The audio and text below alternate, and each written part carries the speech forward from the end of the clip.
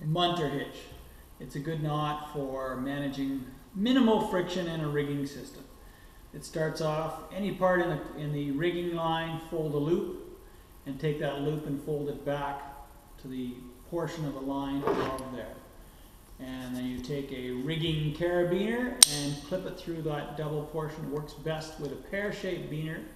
And the munter hitch can be flipped forwards and backwards through the beaner fairly, fairly readily.